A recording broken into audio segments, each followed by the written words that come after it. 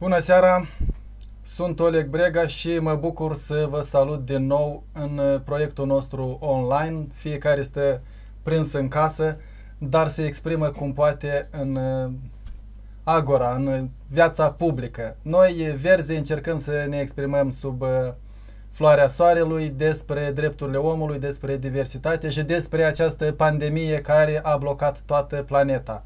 E din nou uh, cu noi în discuție doamna Adina Tatu din Germania și pentru prima dată domnul Radu, pardon, vă rog să-mi spuneți cum că mi-a ieșit din cap? Sumanaru. Sumanaru din Belgia. Pentru că dumneavoastră sunteți nou în emisiune, chiar o să vă rog să începeți cu o prezentare. Cu ce vă ocupați acolo? De ce ați plecat din România sau de ce anume în Belgia? Și în ce relație sunteți cu Partidul Verde? Da, foarte bine. Ce să zic, am plecat cum au plecat și alți români din nevoia de a supraviețui. Chiar și pe cei care îi vedem acum că au plecat la curte de Sparanghel, asta e, la asta s-au dus. Cel puțin au plecat la un lucru sigur. Eu am plecat la Ghici și am avut noroc. Se întâmpla de mult? S-a întâmplat acum cam 9 ani. Uh-huh și am avut noroc ca în două zile cineva să întrebe dacă se... Eu am întrebat dacă are loc, el a răspuns că da și de atunci am început munca și încă n-am avut decât două concedii de odihnă până acum. Și acum stați în casă sau lucrați? Uh, acum uh, conduc un magazin uh, cu produse alimentare românești și am voie să lucrez, să mă deplasez, să mă aprovizionez și la reală. Sunteți privilegiat, nu, nu vă afectează criza economică. Sunt privilegiat că nu nebunesc în casă ca și ca alții. Ei rău. Îl salutăm și pe domnul Silviu Dumitru, secretar general al Partidului Verde, care cam în fiecare seară e aici alături de noi să vadă să nu spunem uh, prostioare. Vreau să o provoc pe doamna Dina Tatu să vorbim în seara asta despre prea puțină prezență a femeilor în viața publică, în viața politică. Dumneavoastră ați lucrat în uh, Human Resources, nu? La angajări. De ce femeile se tem de carieră politică, de implicare în viața publică? Uh, nu pot să spun sincer că se tem. Nu, deci nu este teamă. Uh, este știi foarte bine că femeia are o anumită poziție în societate. Întotdeauna, și îți spun din sursă sigură, toată lumea, toate femeile o să spună, domne, eu sunt mamă, în primul rând, după aia sunt soție, după aia fac carieră, da? Și cu timpul stau mai prost. Și nu poate să le facă simultan, trebuie să le facă pe rând, întâi soție, după aceea mamă și abia spre senectute carieră? Uh, nu, dar Oleg, uh, știi foarte bine că noi femeile românce avem o anumită cultură din punctul ăsta de vedere, da? Deci, cel puțin generația mea, primul lucru, au, și-au făcut studii, și-au făcut școală, ulterior muncă, după aceea au început căsătorii, au venit copii în căsătorii și ulterior s-au gândit și la celelalte lucruri. Și îți spun sincer, uh, sunt foarte puține femei care se informează asupra vieții politicii deci, deci femeile preferă să se uite la seriale și nu se uită la știri, de exemplu, sau la emisiuni de dezbateri politice. Nu, nu, nu. Se uită, se uită și la știri. Se uită și la știri. Dar nu știrile de politică sau știrile politice. Rog participanții care nu participă în discuție să oprească microfonul pentru că cineva bruiază, o bruiază pe doamna Tatuș și s-ar putea să se considere discriminată. Iată, s-a oprit. A, nu, tot e cu ecou. Atunci dar o provocare și pentru bărbații din discuție. Ce am putea să facem ca să, nu știu, schimbăm tradiția asta patriarhală, să schimbăm rolurile de gen și femeile să se simtă ajutorate acasă, l-a făcut mâncare, l-a crescut copii, ca să aibă timp și de informat despre politică, să aibă timp și de implicat în viața publică, nu doar o dată în patru ani la vot. Provocare pentru bărbați, pentru că nu e așa, e și vina noastră că femeile nu vin în politică alături de noi. Radu, te ascult. Da. Uh, Tocmai mă uitam uh, cum suntem, uh, cum avem distribuția femeilor în Parlamentul European și uh, cam 36% dintre membrii Parlamentului European sunt femei. Iar uh, noi ca țară suntem cu 29% în Parlamentul nostru femei. Ce să zic, uh, și la noi în organizația belgiană prezența femeilor este mai scăzută. Nu fiindcă nu ar fi fost invitate, dar uh, interesul este ceva mai mic. Și, cum a zis și doamna Tatu, uh, femeia pune în principal statutul ei în casă și după aia statutul ei în societate. Și atunci e și normal să dea prioritate uh, copiilor, educației și uh, chestiilor astea, iar politica o lasă mai la sfârșit.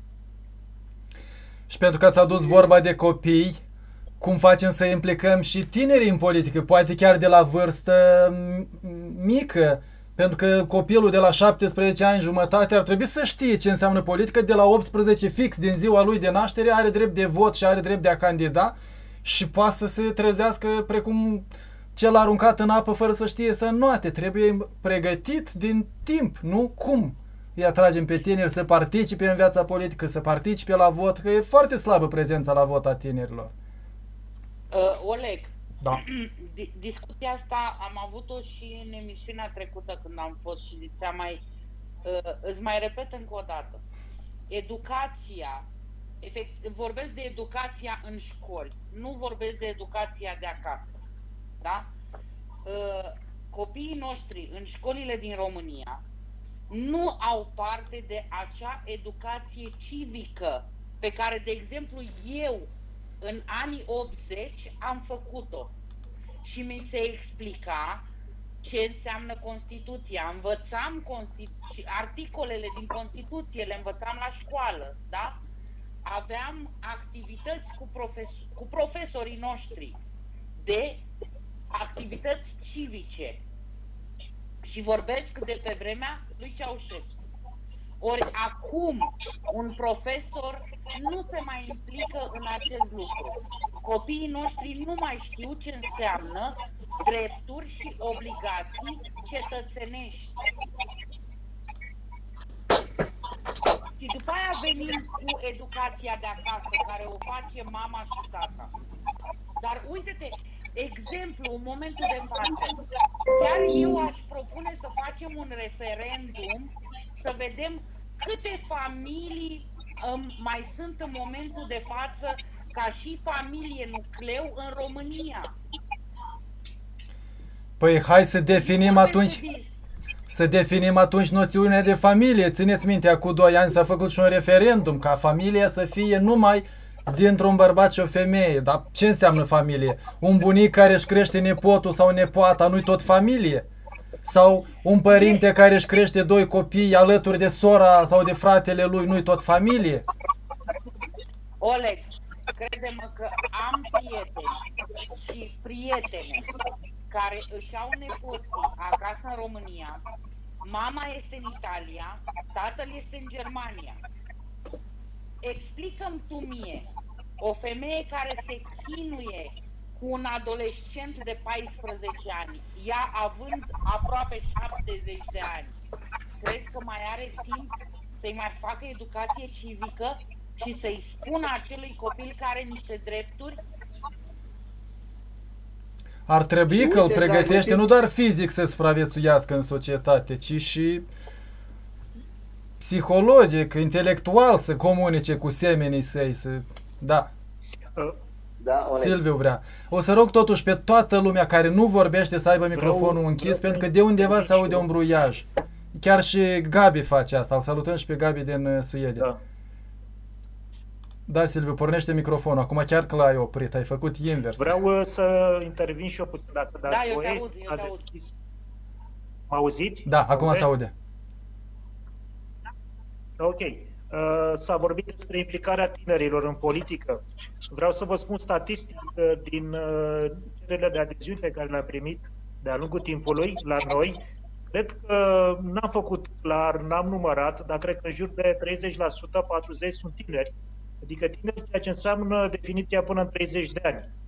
Numai că acești tineri nu sunt capacitați cumva să se organizeze, ei sunt acum în cadrul organizațiilor noastre, și o să observați că foarte mulți sunt tineri, sunt și tineri mulți.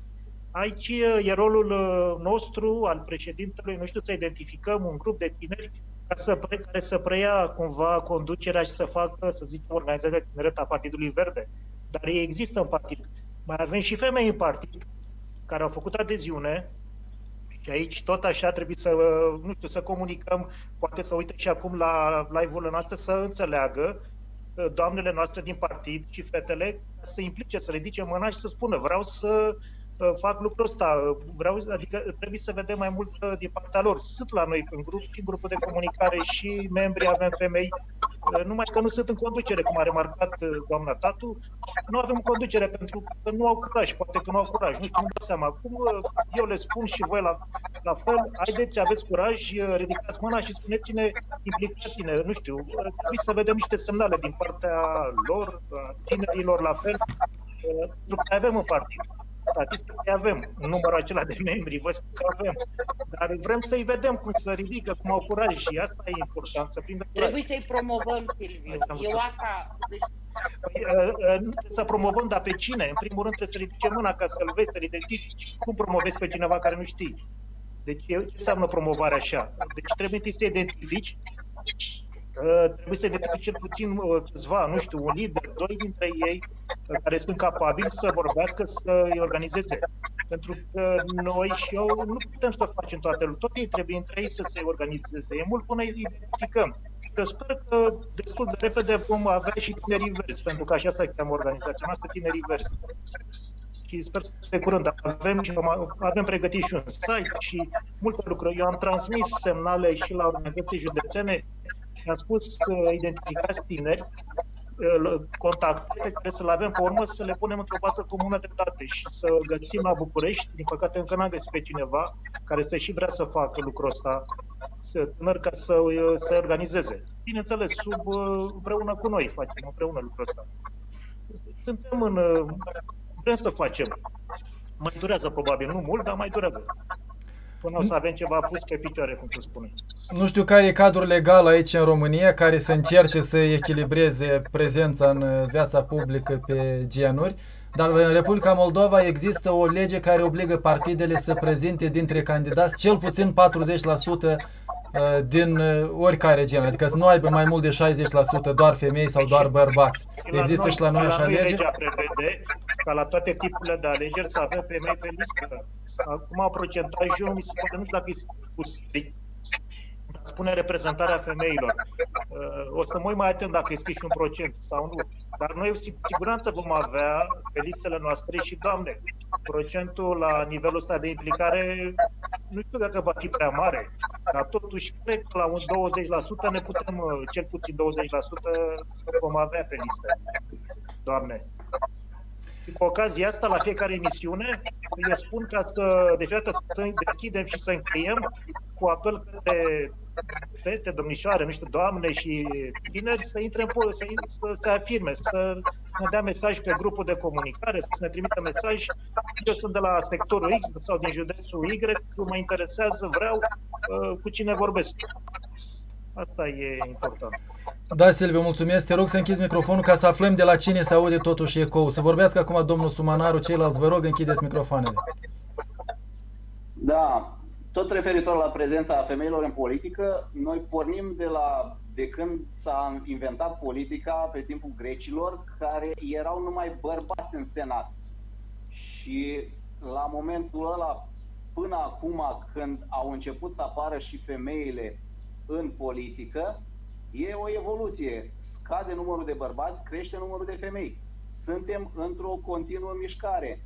Mă uit la Finlanda, au ajuns cu o prezență de 64% femei în Parlamentul Finlandei. Deci Și printre, printre lideri în lume e Ruanda, dar acolo că au murit bărbați în ultimul război. Asta poate că explică de ce femeile sunt mai mult prezente, dar nu ne-am dorit ca să se întoarcă procentajul doar în urma unui cataclism de felul ăsta. Am vrea să avem un cât de cât echilibru și credem că politicile care vizează femeile, de exemplu, ar trebui să fie decise de femei. Aici și asta e spiritul verzilor europeni. Vorbim mai mult, Gabriel, pentru că Suedia e o țară în care femeile sunt uh, implicate în politică și în, uh, mai ales de la verzi. Uh, Gabriel, situația în Suedia verzilor și ai fost la întâlniri și ai văzut de mult să implică doamnele Bună. politică. Chiar da, le interesează, să... chiar fac mai mult decât bărbații. Da, da, sunt mai rele, sunt mai pipărușe ca și bărbații și de multe ori sunt mai inteligente, așa că avem de unde să învățăm. Uh, dragilor, vă salut din, din Suedia. Uh, este o temă foarte importantă, mă bucur că ați ridicat-o uh, și știu că a fost, în special a membrilor noi au venit această observație, domnule, că nu avem femei, nu avem tineri, nu avem, nu avem. Da, domnule, așa este și domnul Florin Călinescu și eu și uh, ceilalți colegi care suntem de mult să mai puțin am făcut acest apel public la femei, la domnișoare, la uh, tineri să vină. Dar dragoste cu forța nu se poate, nu poți să iei ca și cu arcanul, mă înțelegeți? Asta este. Și noi ne-am dorit să vedem mai multe femei, fiindcă una o este plăcut să ai ca și coleg o femeie decât să să zic așa, să miroși ciorapii colegului, mă înțelegeți? Dar uh, să, să glumim puțin. Dar, uh, uh, dar dacă ele nu vin, asta este. Sau dacă se înscrie și nu vor să candideze, iar este o problemă. Dacă în competiția pe același post cu un coleg de gen masculin se dovedește a fi mai puțin pregătit, atunci iarăși avem o, o problemă, mă înțelegeți? Fiindcă și Partidul Verde trebuie să performeze și să tragă în față oamenii cel mai buni.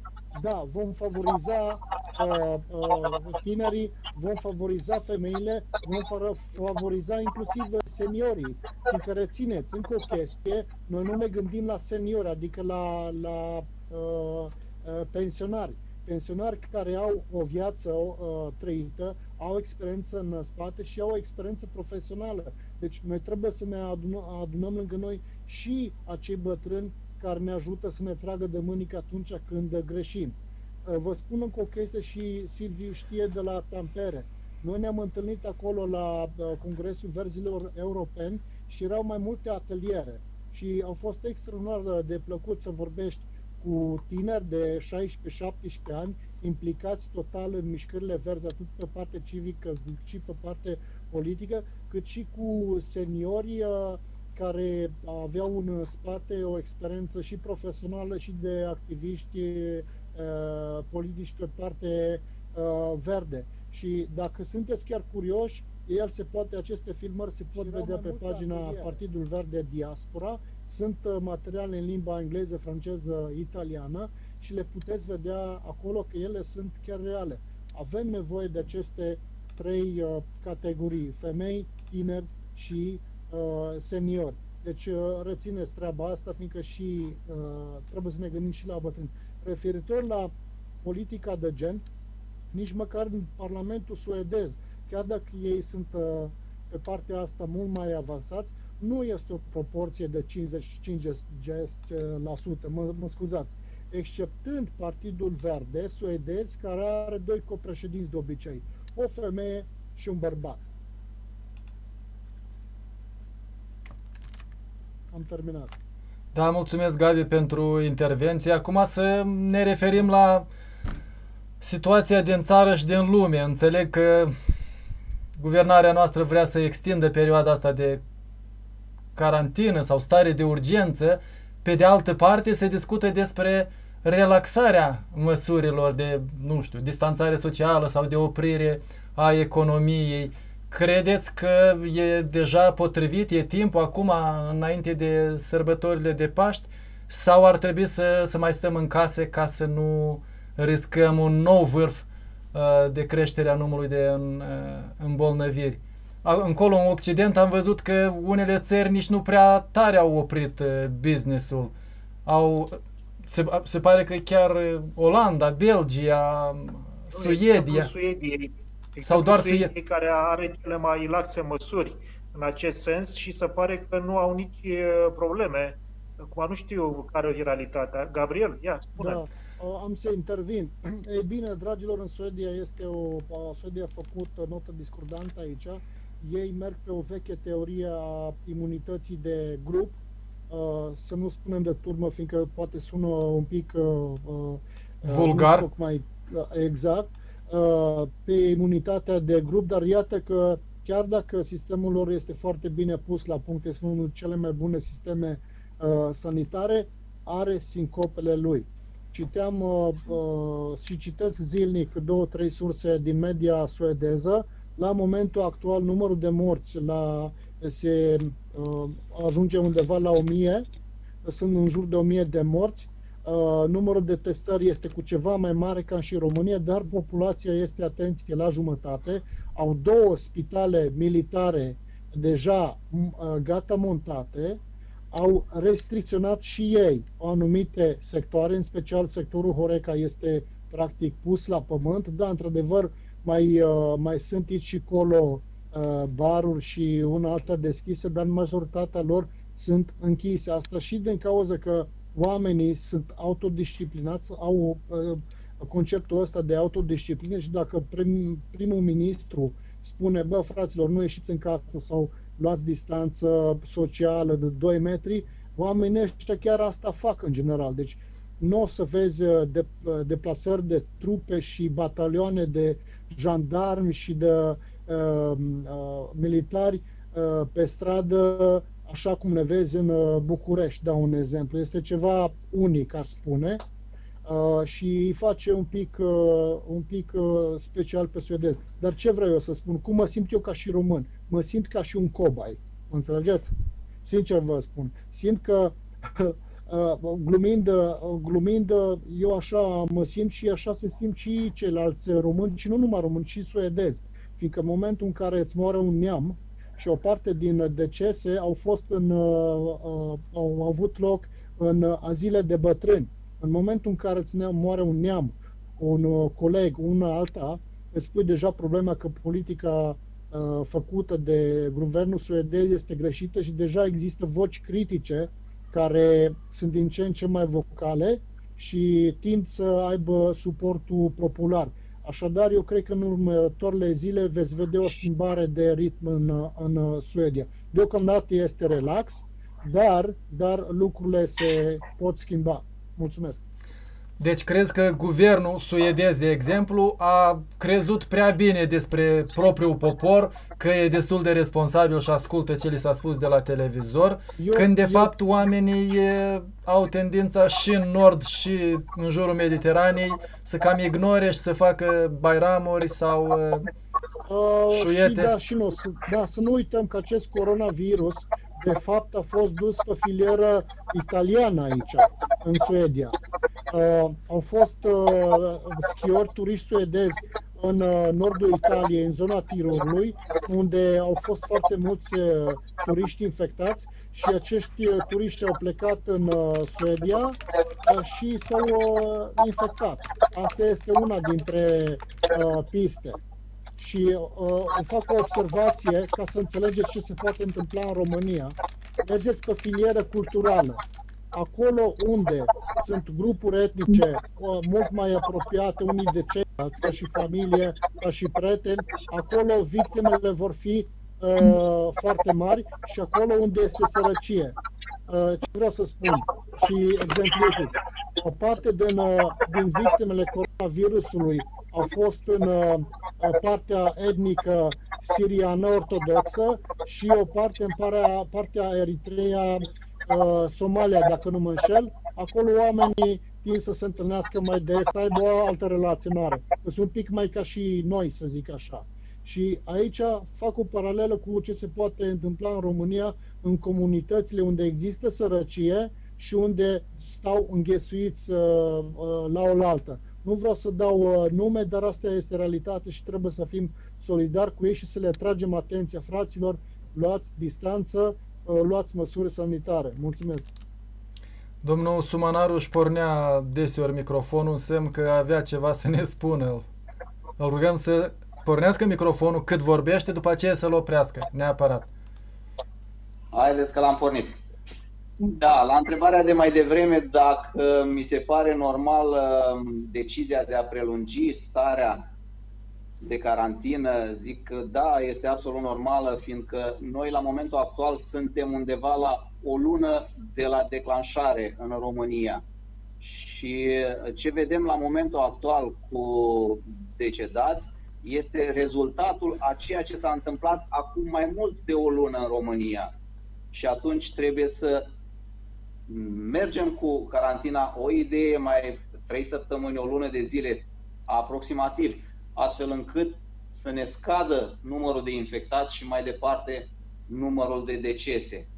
Și venind la modalitatea de carantină din România comparativ cu cea din Belgia, fiindcă una o văd la fața locului și a doua o urmăresc pe, la televizor sau pe internet, uh, pot să vă spun că datorită libertinajului prea mare lăsat aici în Belgia, uh, la momentul actual noi avem 30.000 uh, de infectați cu 3900 de decese. 3900 de decese la o populație de 10 milioane înseamnă 11%. Iar în România 318 decese la o populație de, hai să spunem, 19-20 de milioane e foarte puțin. Adică ca număr de decese în România stăm foarte bine, deci măsurile luate acolo sunt mai bune decât cele luate aici. Așa cum le blamează toată lumea, nu avem ce face. Asta e, dar uh, rezultatele, cifrele vorbesc. Totuși, unii, uh, ziceți dumneavoastră, blamează, dar constată că guvernul a cam exagerat și a cerut, de exemplu, o derogare, o suspendare a obligațiilor în fața Curții Europene, adică drepturi fundamentale să nu fie respectate de către guvern cetățenilor și nu doar cetățenilor, tuturor ființelor umane, pe durata acestei stări de urgență. Și nu toate țările din Consiliul Europei și 47 de state în Consiliu au cerut asta, ci doar câteva țări estice, mai la est de România. Republica Moldova, Georgia, nu știu care. Aveți o părere despre asta? Nu cumva e loc de abuzuri ale guvernului și vedem uneori polițiști care lovesc oameni sau uh, oameni care rămân în casă și mor de foame sau dacă ies în stradă sunt ruinați cu niște amenzi de mii de lei.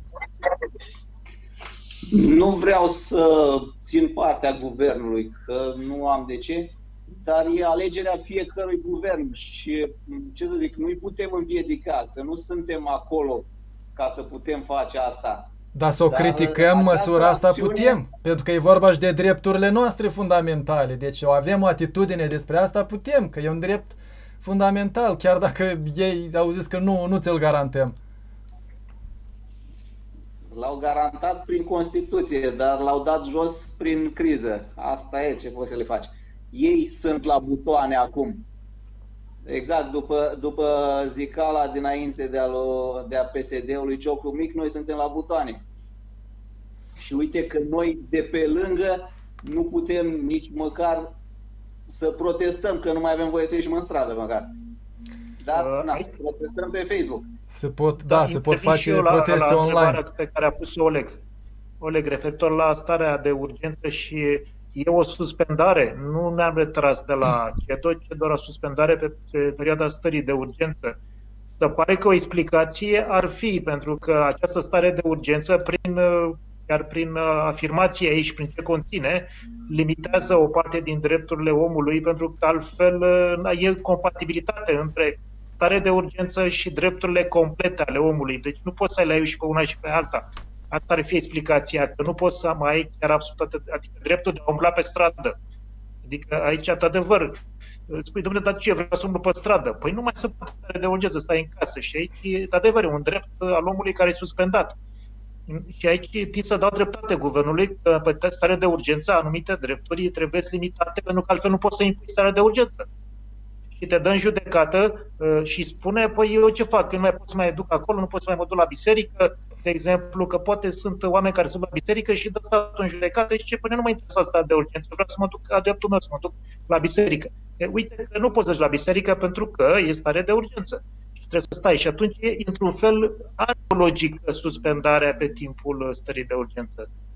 Apropo a, de... a unor drepturi, nu, to- nu toate drepturile, a unor drepturi.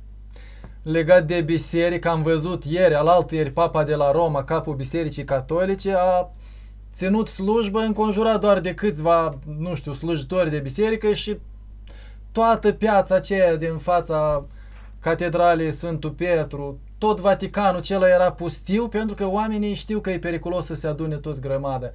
Ce credeți că se va întâmpla la noi peste o săptămână când vine celălalt Paște? O să se respecte la fel? O să se facă slujbe doar online? Sau o să meargă oamenii să ia lumină? O să se adune în interiorul sau în Să fața se respecte. bisericii? Nu, eu cred că se va respecta. Probabil că vor mai fi unii care, probabil pe la țară, în mediul rural sau cine știe, se vor duce la biserică, dar în mare parte se vor respecta, pentru că chiar într-adevăr, chiar Biserica Boru a spus că uh, se vor ține slujbe online și lumea să iasă de Paște pe balcon cu să spună Hristos a înviat de pe balcon sau din curte. Uh, Deci, în mare parte, cred că se va respecta. Vor mai fi probabil unii care se vor duce la biserică, dar vor fi trimiși acasă, deci de acolo. Asta e situația, mai să găsesc. Dar, în general, cred că se conformează și Biserica Ortodoxă până la urmă acestei stări de urgență. Părerea mea. Ce impact credeți că va avea criza asta asupra clasei politice românești, asupra celor de la guvernare? Vor încasa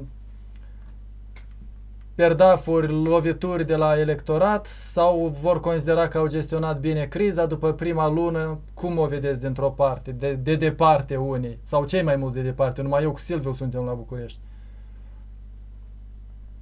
E cam de vreme să ne pronunțăm din câte, din câte văd eu, sincer. Oamenii sunt foarte nemulțumiți uh, de aceste decizii a acumula alegerile locale cu alegerile parlamentare, cel puțin uh, vorbesc de comunitatea română de aici, din Germania. Dar încă nu s-a decis asta, doar se discută, nu? Se, sunt... uh, Da, se discută, dar oamenii se informează asupra acestui, acestui fapt, pentru că majoritatea dintre ei erau uh, pregătiți pentru alegerile locale să meargă în țară. Da, chiar așa Deci, aveți de gând, sunteți doi peste trei peste hotare, aveți de gând să veniți acasă să votați sau chiar să candidați?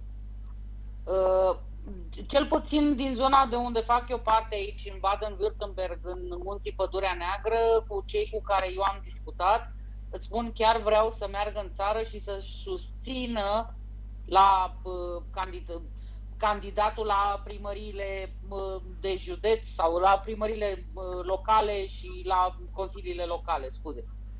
Da? Deci chiar, uh, chiar erau hotărâți să-și cumpere biletele de avion. Însă toată lumea așteaptă următoarele decizii, următoarele legi, următoarele ordine. Da? Uh, și Colegii pot veni cu un update aici referitor la alegeri locale. Se pare, dar nu este anunțat încă, în septembrie vor fi alegeri locale, dar nu e anunțat, și cumva prin noiembrie decalat uh, parlamentare. Ar fi fost o întâlnire și ar fi agreat uh, din surse neoficiale. În schimb, guvernul și autoritatea electorală permanentă au emis acea ordonanță de urgență privitor la alegerile locale. Nu s-a specificat data, dar uh, acolo se propune reducerea numărului de semnături la 25.000 pentru un partid ca să poată să depună liste um, oriunde în țară, câte minim 500 de semnături din uh, fiecare județ și o altă cu alternativa de a se face un depozit uh, la autoritatea electorală de aproximativ 24.000 de euro ca alternativă, cine nu strânge semnături depune banii ăștia și tot așa pot registra candidaturi în toată țara. În plus, referitor la strângerea de semnături, s-a propus ca o alternativă să se poată face depunerea listelor de candidați să se facă online, iar strângerea pe tabele de semnături să se facă și să se poată face și asta online. Numai că metodologia și cum să se facă nu s-a menționat, spunându-se că se discută cu autoritatea pentru digitalizare pentru a se implementa o metodă de a strânge semnături. Suntem curioși. Deci, până la urmă, ă, lucrurile, dacă noi, dacă se presează și partidele politice, noi deja, ă, președintele Florin Călinescu ieri a, a tot spus și noi spunem de, de ceva timp de votul electronic, deci e o posibilitate și, nu posibilitate, cred că și real se poate face ca alegerile locale să se facă de acasă, adică votul se facă de acasă online, cum e civilizat în acest secol și modalitățile tehnologice, tehnologia și softurile actuale permit acest lucru, trebuie doar voințe și implementare. Noi o să facem presiune.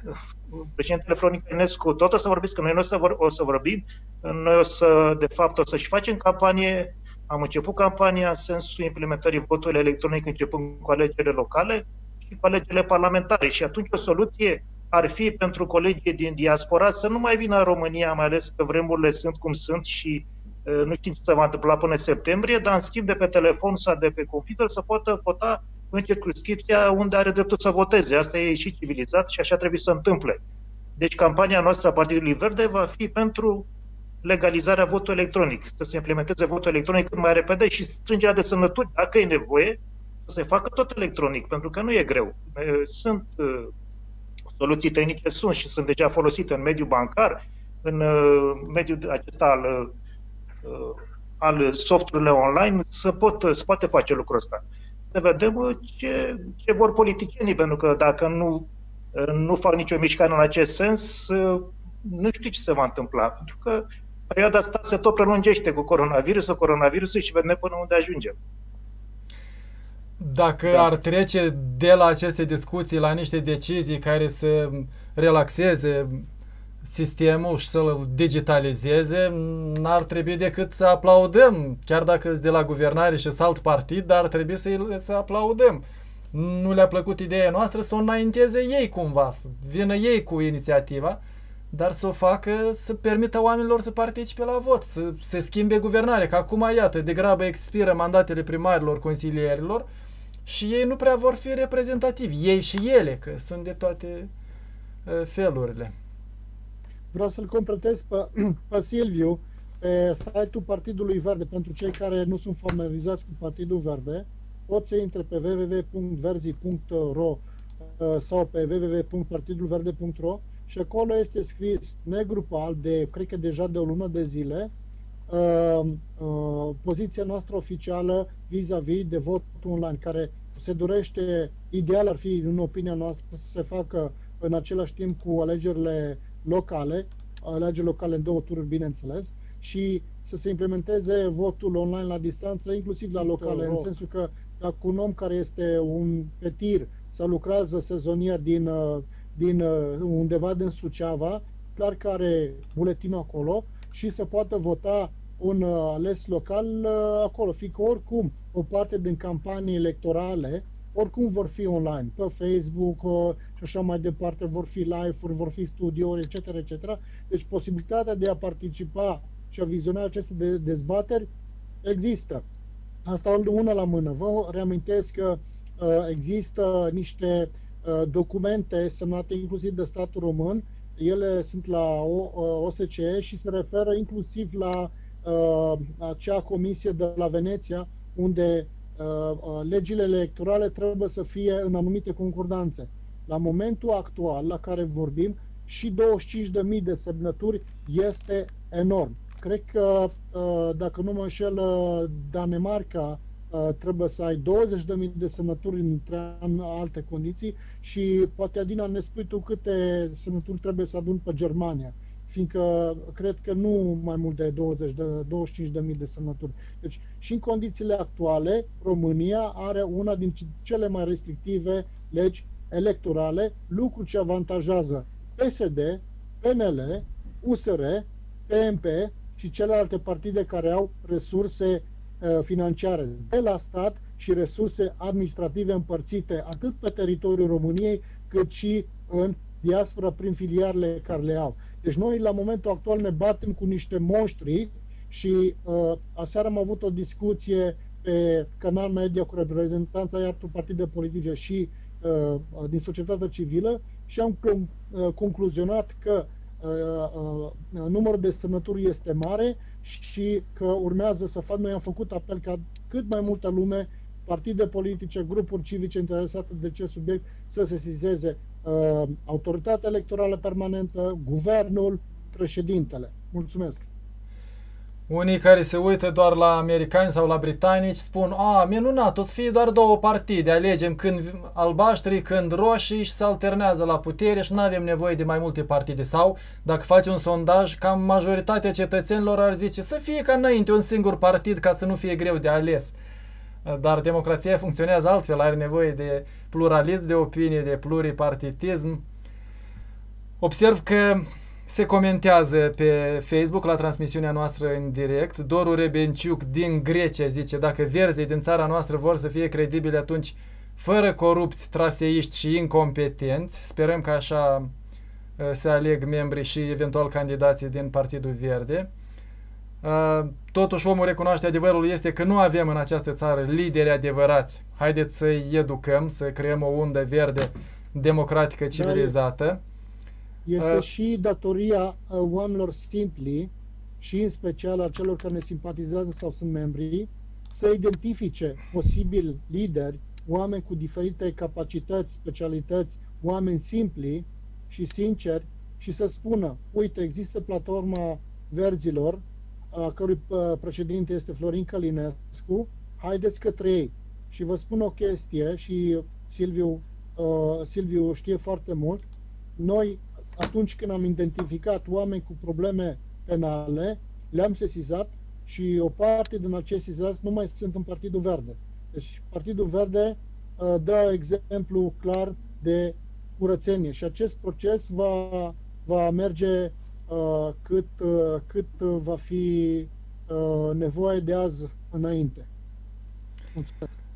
Tot omul din Grecia comentează, guvernanții sunt votați de noi, cetățenii, așa că suportăm consecințele. Clasa politică e reprezentativă.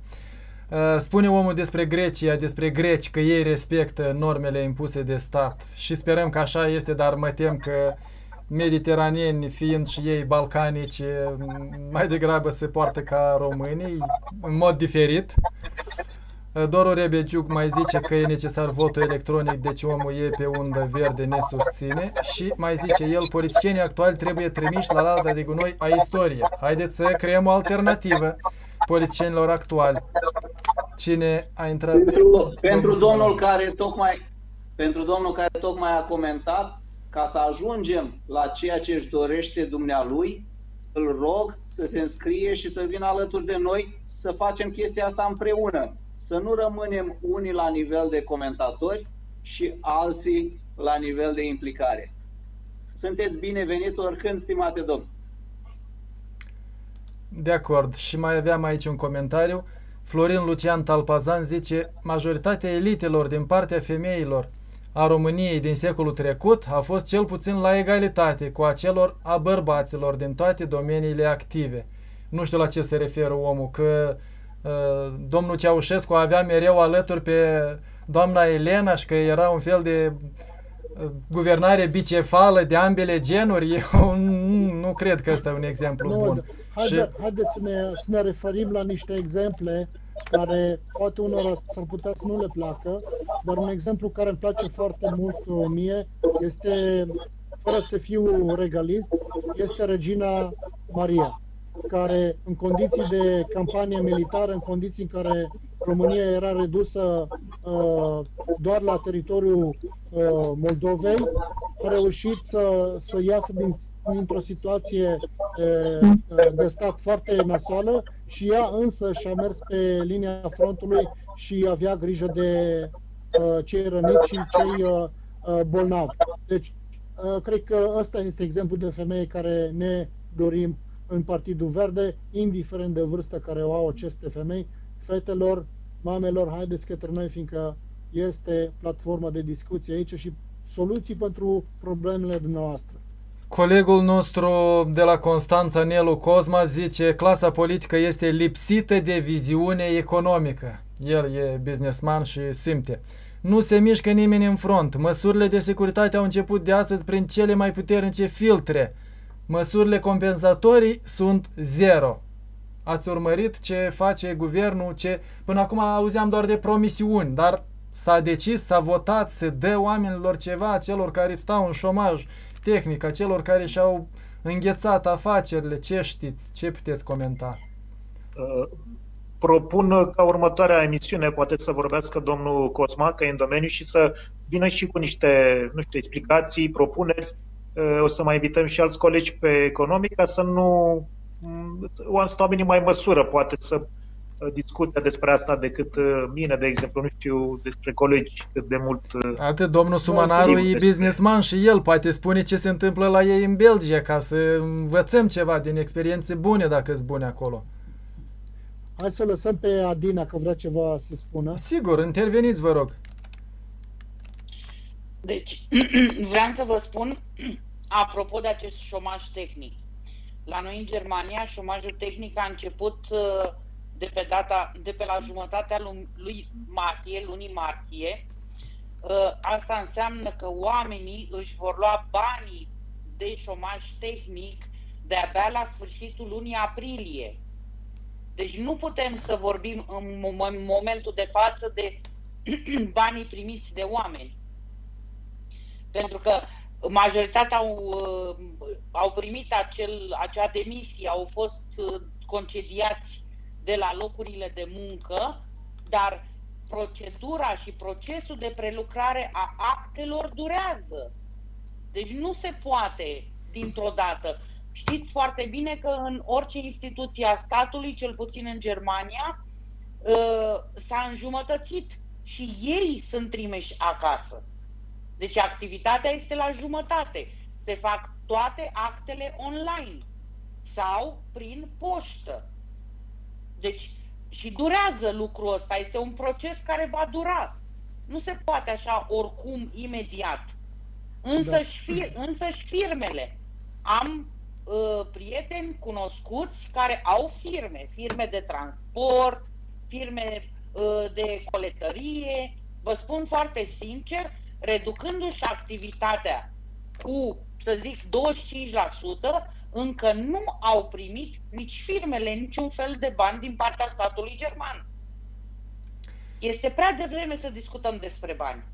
Tot prea devreme, zicea domnul Cozma, e să discutăm despre măsurile astea compensatorii ale guvernului, pentru că atunci, zicea el, încă n-au fost publicate nimic în monitorul oficial.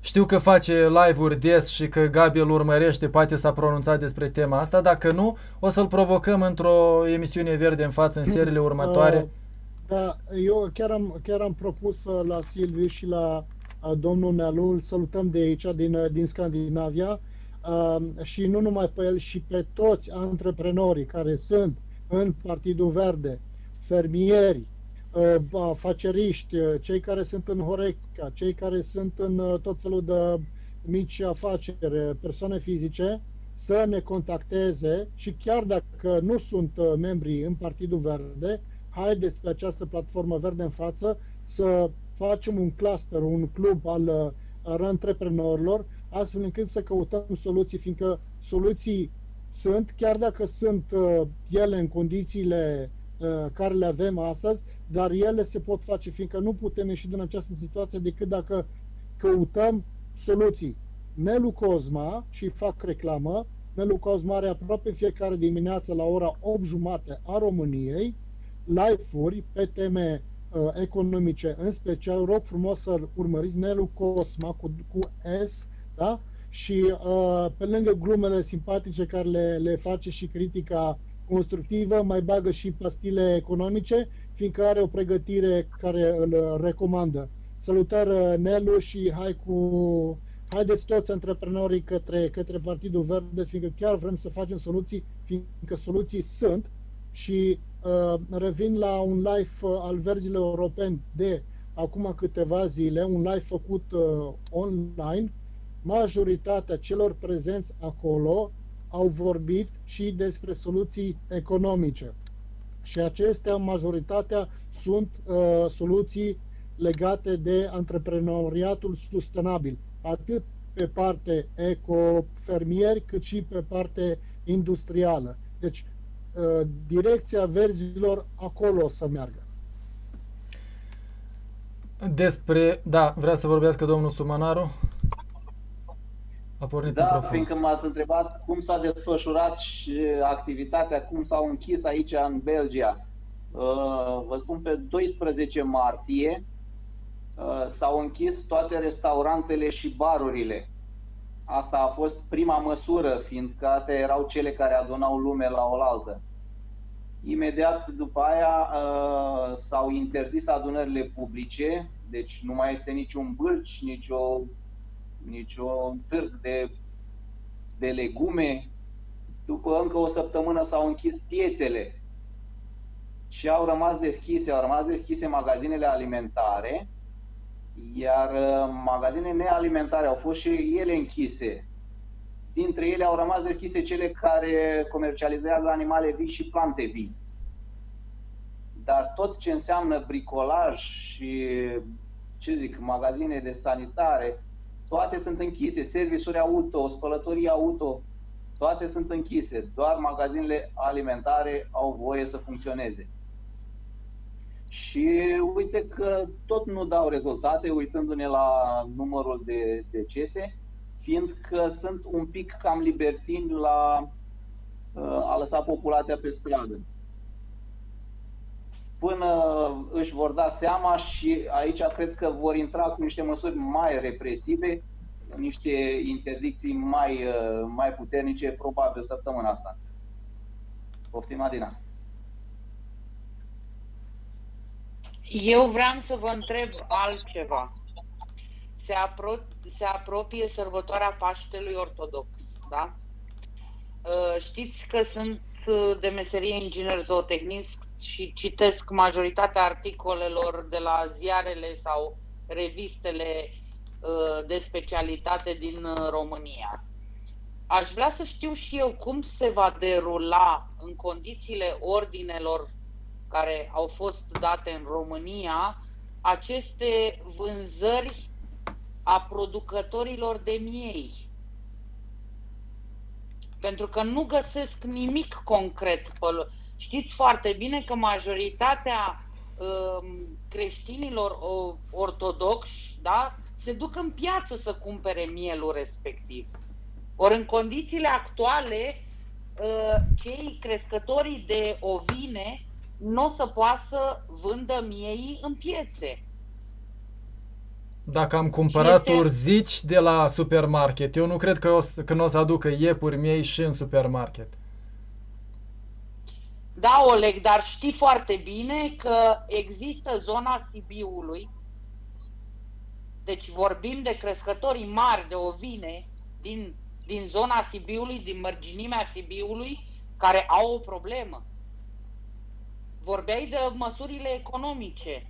Nu, eu nu pot să înțeleg de ce nu se pot face acele abatoare în, în cadrul uh, piețelor ca să poată să vină lumea să își taie animale la, la abator cu medicul veterinar lângă. Da, uh, zi, zi Radu, eu găsisem un articol pe tema asta, dar uh, Radu, de drumul. Da, eu uh, din, din uh, intenția de a mă aproviziona cu carne de miel din România, am dat peste problema spusă de Adina și este o problemă care e gata iscată și nu mai poate fi rezolvată. Este mult prea târziu ca să mai întreprinzi ceva. Eu nu am adus carne de miel din România, fiindcă era dificil și am aflat că Mm, oierii au rămas cu mulți miei nevânduți, care evident că nu se vor vinde așa de mulți în următoarele 3-4 zile și deja uh, toți miei sug în continuare la mamă, laptele de, de oaie va fi un în deficit în următoarele 2-3 luni și astfel vom avea lipsă și de telemea de oaie. Uite că tot pe domeniul de mâncare am ajuns, și mi-am dat seama că se leagă, se leagă, se leagă și o să apară telemeaua undeva prin august, probabil. Mai citesc comentarii, că avem aproape o oră de când Da, vorbim da. și ar trebui să facem acum și concluzii. Uniunea Exact. Europeană s-a supărat pe România că a asistat exportul de cereale, zice Răducu Marinuș, și am impresia că tocmai s-a permis zilele astea câte ceva. Da, agricultura este blocată, zice Teodora Perez. Blocată în România și nu merge nimeni în piață pentru că se dau amenzi, deja s-au dat ordine. Și tot Teodora Perez zice, doamna Adina, suntem blocați în România. Nu știu, poate vă cunoașteți și vă transmite Da, ceva da, ce nu da, știm noi. da. Și cu Răducu Da. și cu Teodora. Apropo de chestia, să terminăm cu chestia cu carnea de mel, uh, vă citesc aici doar titlul dintr-un articol din 9 aprilie, în care ciobanii vor derogare de o săptămână pentru a sacri- sacrifica miei în ferme. Uh, și după care câteva subtitluri. Unii fermieri vând miei online și oferă livrare la domiciliu.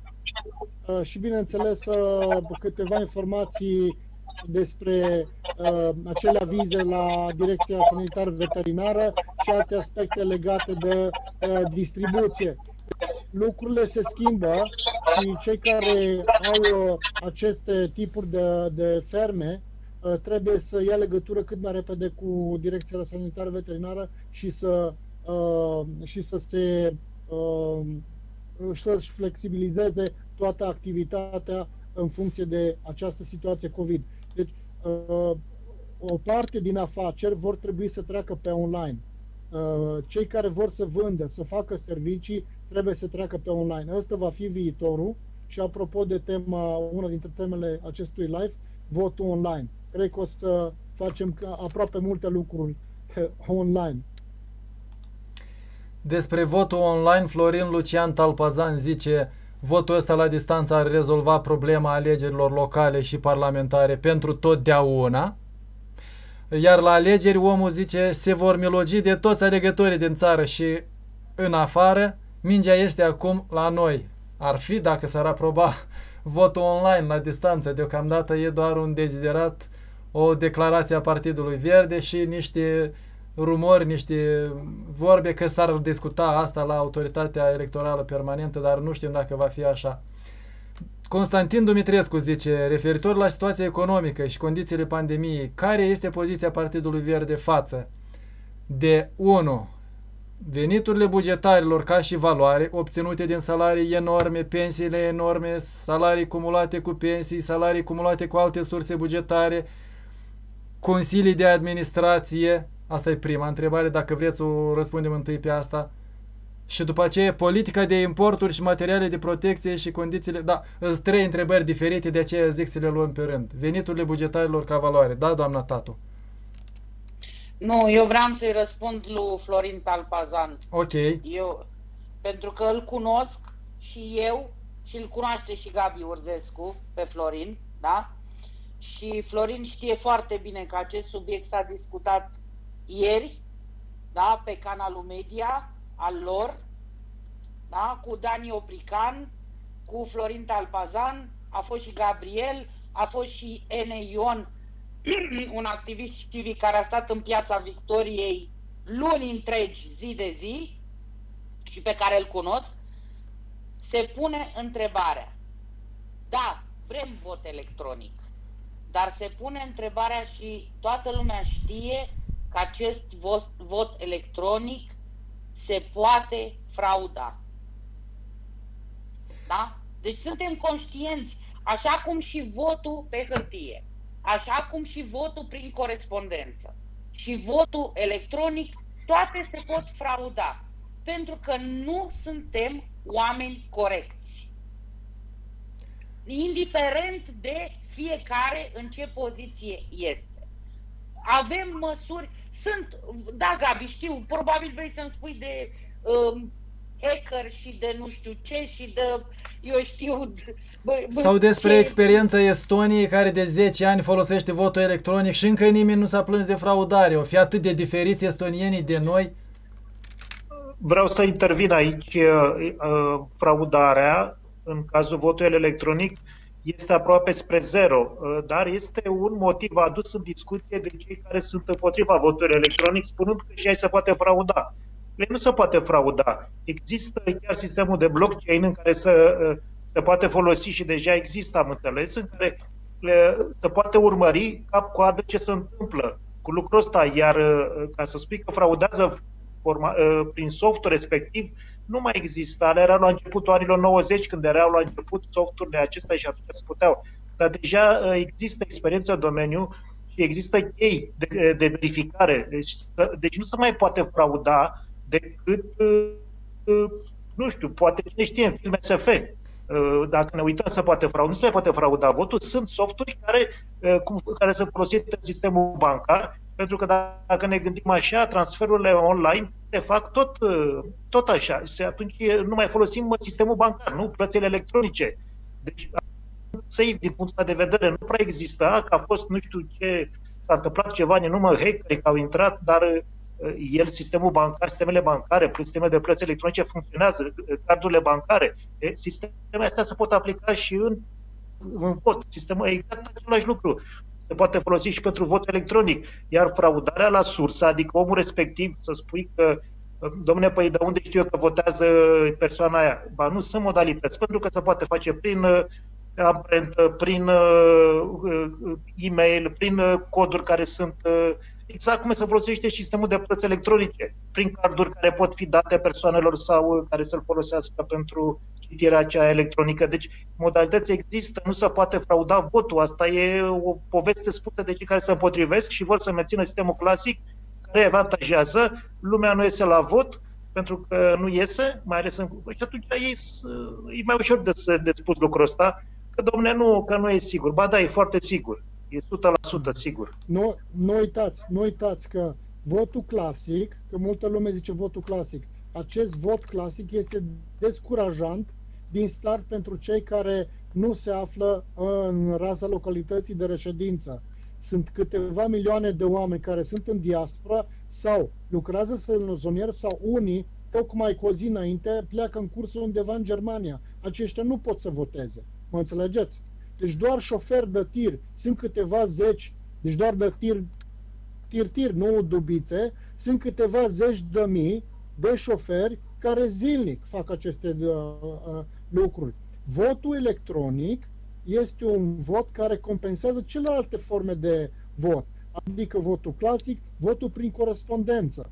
Și încă o chestie, uh, uh, eu sper că uh, și îmi doresc cel puțin ca Partidul Verde să preseze autoritățile publice, astfel încât uh, să fim cât mai vocali și împreună cu celelalte partide mici și grupuri civice și împreună să facem, să-și facă fiecare partea lui, să preseze autoritățile să facem acest vot electronic și să nu se renunțe nici la votul prin corespondență, fiindcă și acest vot a dus uh, câteva, uh, undeva la 20.000 de, de voturi în condițiile în care acesta a fost anunțat cu o lună, o lună jumate înainte și nu s-a făcut o campanie de informare ca lumea.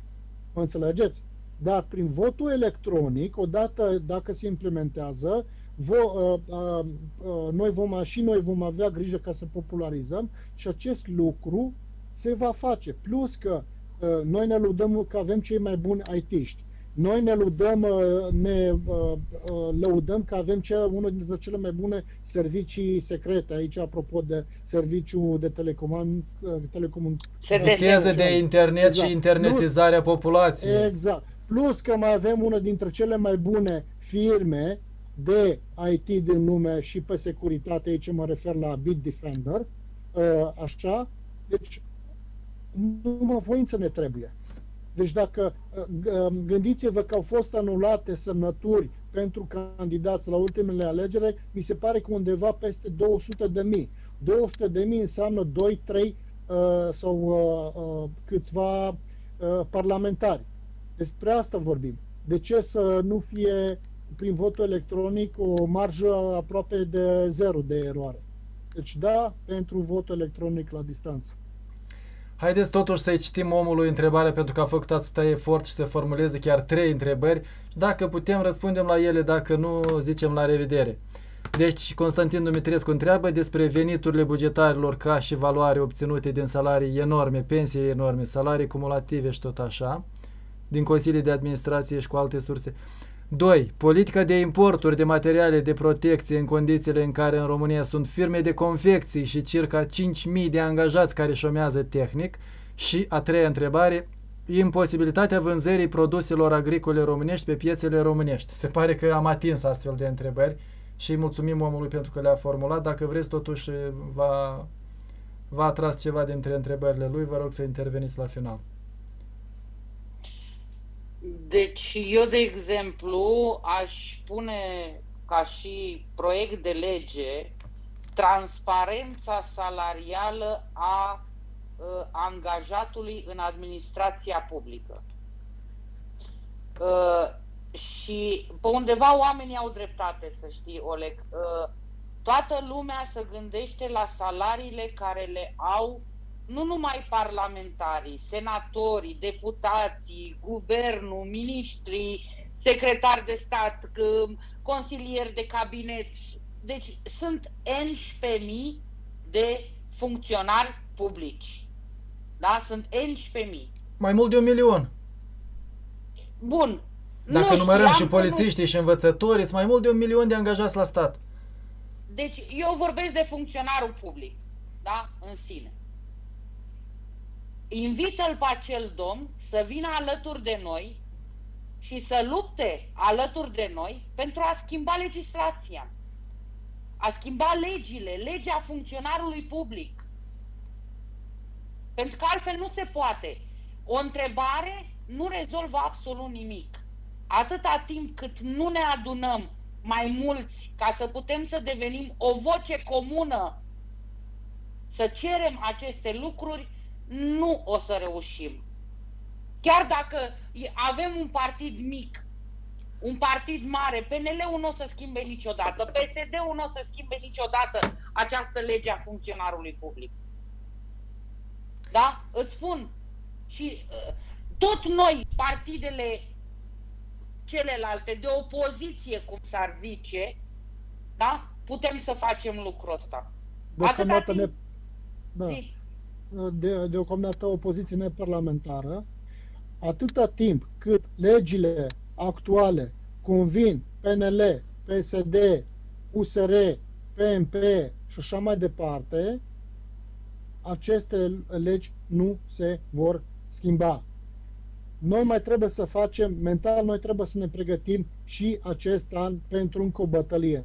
Dacă am fost în stare, cei care sunt uh, activat pe civic, ca în special ultimii 2-3 ani de zile, să ne luptăm pentru justiție, pentru democrație, acest an uh, este crucial. De, de fapt, acestea sunt cele mai importante alegeri. Noi am făcut primul test uh, anul trecut la alegere de mobilizare, la alegerile europarlamentare exact. și la alegerile prezidențiale.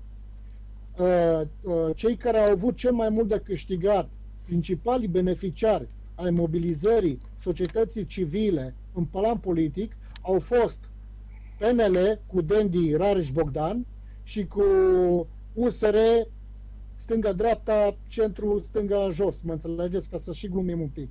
Deci despre uh, plusul, asta este vorba. Plus, plus, plusul. Da, plus, plus, plus. USR plus. Și apropo aici vin uh, și mă refer la, la acest politicien uh, și de la USR și de la PNP și așa mai departe, care au votat contra pactului verde în Parlamentul European. Acest lucru se poate demonstra. Iată că pădurile se taie în continuare bine mersi și lucrurile nu sunt rezolvate. Așa că bye-bye PNL. A doua întrebare care era că nu mai rețin.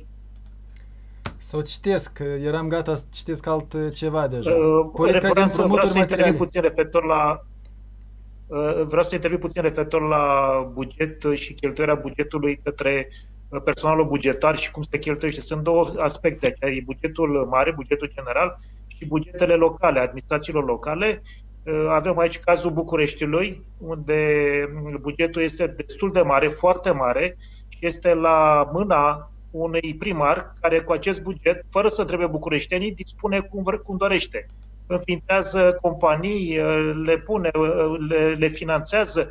Deci problema este transparența, odată, și responsabilitatea. Sunt responsabilitate pe banul public persoane să cheltuiască numele nostru uh, fără niciun răspundere. Deci cu ce drept aceste persoane, chiar dacă e primar, poate dispune de acești bani ai noștri, că sunt banii noștri, până la urmă să facă ce vrea cu ei. În plus de asta fac și campanie electorală din banii, din banii publici. Primăria de sector, Primăria Bucureștiului și alte primării din țară pe banii publici ai noștri pe care contribuie ei și fac campanie electorală, ducându-se chiar acum în, în timpuri de COVID, cum se spune, ducând uh, ajutoare, pozându-se, scriind pe mașini cu care uh, se duc pe stradă și că dezinfectează și uh, tot felul de lucruri electorale, ceea ce nu-i permit pe banii noștri, finanțează televiziuni, radiouri, Uh, uh, vezi primăria București, își trimite și face campanii pe la televizor, că fac nu știu ce acțiuni. Deci trebuie să terminăm cu acesta, uh, acești bani care sunt la dispoziția primarilor, fără să dea niciun fel de... Deci banii ăștia trebuie, cred că ar fi făcut un referendum, tot electronic, că se poate face și pe care fiecare problemă a speciei locale, când au anumite propuneri de cheltuire a banului public, să facă un referendum și să trebuie bucurii dacă sunt de acord de cheltuirea banilor pe sub unde să fac sume mari, nu atribuiri directe, cum se fac acum. Deci sunt mulți bani care se scurg pe lângă și nu sunt contorizați, nu se știe ce se întâmplă cu ei, inclusiv de la bugetul de stat și bugetele locale. Trebuie să se termine cu acest lucru.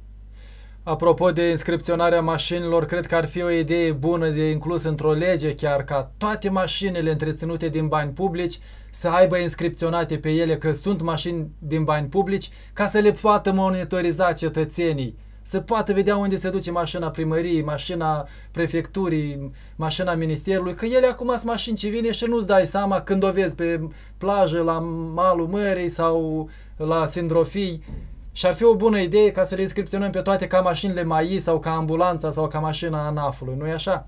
Și apropo de activismul civic, am un coleg, de fapt doi colegi, unul în Buzău și altul în Prahova, care se duc deseori prin primării și folosesc o prevedere legală care spune că toți primarii, toate primăriile trebuie să afișeze salariile angajaților primăriei acolo, la avizier, la panou de afară. Și pe cei mai mulți îi găsesc că nu au chestia asta și primarul sau secretarul cineva zice căutați pe internet, căutați pe site, dar nu scrie nici pe site chestia asta. Zic ca cetățenii să-și ia soarta în mâini și să, dacă nu vin la partid, dacă n-au curaj să se implice, măcar să facă precum Harry Geană sau cu activistul Buzoian, să ducă să-i sâcăie pe funcționarii publici, să-i întrebe ce salariu au, de ce au cheltuit chestia asta, de ce au cheltuit chestia cealaltă, pentru că fără participarea cetățenilor nu prea există democrație. Degeaba scrie în lege că na, totul e transparent, dacă nimeni nu vine să ceară socoteală, nu e transparență, nu e participare. Vreau doamna Tatu să mai intervine. 544, legea transparenței publice și acolo trebuie mers. Poți să ceri aproape orice dorești, ce-ți vine în cap, să ceri autorităților publice pe domeniul respectiv. La funcționarii au învățat să dea răspunsuri în doi peri, te trimit la plimbare, se plâng jurnaliștii de investigații de astfel de șmecherii. Apropo de ce ai spus mai devreme, Oleg, vreau să-ți amintesc o singură chestie. Știi foarte bine că toți funcționarii publici, mă refer, de, îți dau un exemplu, cei care lucrează în ministere, da? nu contează funcția. Știi foarte bine că au dreptul, pe lângă contractul lor de muncă din cadrul ministerului, poate să aibă și acel contract de muncă de part-time, cum s-ar spune, sau la mine în Germania, da, de patru ore pe zi sau două ore pe zi, da? La firme private. De pomană le inscripționezi tu mașinile lor din minister, atâta timp cât firma privată, datorită faptului că el este consultant la firma privată, îi pune la dispoziție mașină cu șofer. Cum era la fostul ministru al sănătății care făcea operații într-o clinică privată în timpul liber de minister. El avea timp liber de minister pentru operații. Da, pentru că lucrează 8 ore la minister și restul timpului poate să aibă acel contract de colaborare cu o firmă privată frumușel și poate să... Deci despre asta vorbim. Despre asta vorbim. Uh, umflăm, deci în afară de faptul că sunt salariile lor așa cum sunt, cu prime, cu sporuri, cu absolut tot ce vrei, lăsând pensiile speciale la o parte, da? Ei mai au venituri și din alte activități pe care le prestează. Păi ori ești funcționar public, nene, și ai ceva de făcut alea 8 ore și răspunzi cu capul pentru ceea ce ai de făcut, ori mai ești și colaborator în alte părți. Îmi pare rău. Omul întreba în a, în a doua parte a întrebării despre materialele de protecție în, în condițiile în care sunt o grămadă de firme și șomeri în România care ar putea să facă materiale de protecție, costumele cele, măștile cele, dar ei le aduc din China, le aduc de nu știu unde de peste hotare și despre imposibilitatea vânzării produselor agricole pe piețele românești. Erau uh, două întrebări la care da, noi cumva ne-am referit. Da, Gabi. Da, aici vreau să, să completez scurt. Guvernul până anumite ordonanțe, nu mi-aduc aminte ce ordonanțe, dar sunt uh, aceste, uh, și aceste ordonanțe, dar și uh, decizii ale guvernului scrise în monitorul oficial și aceste firme care au o idee uh, de, eu știu, de business sau, sau care vor să facă ceva pe acest plan, sunt rugate să contacteze guvernul, secretariatul general al guvernului sau pe cineva acolo și să vadă ce poate face pe acest palier, fiindcă este mare nevoie de uh, firme care pot să facă acest tip de echipamente. Succes! Și domnul Sumanaru pornise microfonul și cred că a vrut să spună ceva tot despre asta. Uh, am vrut să replic colegii Adina că referitor la ce spunea ea de compatibilitatea dintre funcția de senator și altceva de făcut pe lângă, Uh, chiar în platforma program care o să apară a noastră, avem prevăzut și susținem ca orice persoană ajunsă în guvern, în senat, în parlament, să nu mai poată întreprinde și altceva pe lângă funcția respectivă de parlamentar, de ministru, de secretar de stat. Faptul că ești în serviciu public, la Parlament, la asta, nu îți mai dă voie să mai lucrezi și ca rector, și ca mm, chirurg, și ca orice altceva. Mulțumesc și ultimele două comentarii. Doru Rebenciuc ne informează că grecii din diaspora australiană, americană votează electronic și e bine să aflăm că există deja exemple bune. Și Mugurel Gugu ne sfătuiește să ascultăm și membrii mai vechi din partid și invitații la ședințele și de organe de conducere actuale, că experiența lor contează. Uh, am vorbit azi despre femei și despre tineri, dar evident ne interesează și seniorii, senioarele din, uh, din partid și din societatea seniori. civilă. Vrem să auzim opiniile tuturor. Da, Gabi? Da, asta vreau să spun că Uh, multă lume se gândește la senior, să zic așa, ca și doar la o clasă care merge să voteze doar într-o anumită, o anumită direcție. E bine, nu este așa. Sunt uh, pensionari, sunt seniori care au mintea mult mai trează decât mulți tineri și, de fapt, este uh, o resursă, nu este o, o să zic așa, uh, o piatră de moară și trebuie să ne adresăm și acestor persoane. De ce? Fiindcă sunt politici de protecție socială pentru uh, această categorie care uh, uh, doar ei le pot face, doar din perspectiva lor le putem uh, vedea. Uh, un uh, tânăr care are 20 de ani are total alte uh, idei despre cum trebuie să arate uh, partea, uh, uh, să zic, de seniorat dar în schimb un pensionar, un senior poate vedea lucrurile mult, mult mai obiectiv, așadar haideți să, și uh, voi acolo la clubul seniorilor, să zic așa, să facem sfatul bătrânilor și acolo. Domnilor, doamnă, vă mulțumesc tuturor pentru participare. De asemenea, le sunt recunoscători și celor care au pus întrebări și au comentat. Le-aș mulțumi și celor care vor da like, share la această și la alte emisiuni ale noastre. Domnul Sumanaru de la Bruxelles, care participă prima dată, sau din Belgia, participă prima dată, am văzut că vrea să mai zică ceva și de aceea îi permit.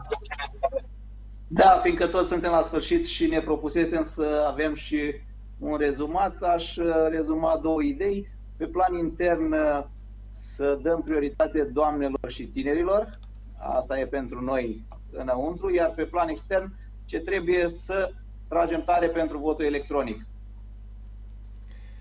Dacă mai vrea cineva concluzii, idei de final, dacă nu, oricum o să ne mai vedem și cu alte ocazii, mai ales cu Silviu și cu Gabi Pumpariu. Da, da, da. Uh, nu uitați uh, că o să avem, încercăm să punem o dată pe săptămână o emisiune economică, uh, fiindcă avem nevoie de locuri de muncă, economie care funcționează, antreprenori care sunt activi, uh, bani la buget, etc., etc., uh, și trebuie să-i punem în evidență, trebuie să le dăm tribună și lor uh, și eu cred că se poate acest lucru, așadar uh, curaj și haideți pe platforma verzilor să creăm soluții. Atât a fost. Seară bună. Ne revedem de la ora 7 în fiecare seară în zile de lucru. La revedere!